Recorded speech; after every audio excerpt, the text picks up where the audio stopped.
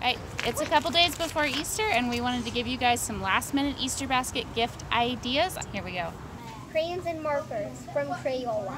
Chapsticks and other personal care items. Bunny with pieces.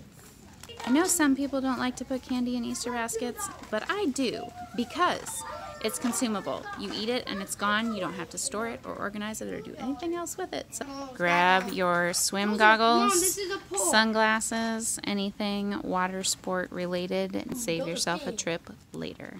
Legos are always good. These are my favorite packages. Also a good option are these Lego Classic boxes. Bananagrams.